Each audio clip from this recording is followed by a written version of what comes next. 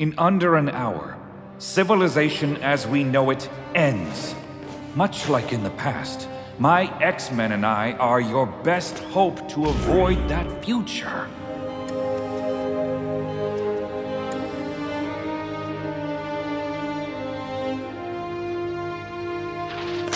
If you're wrong, Xavier, my hand will be forced. We have been here before, President Kelly. If you don't trust me, trust my X-Men.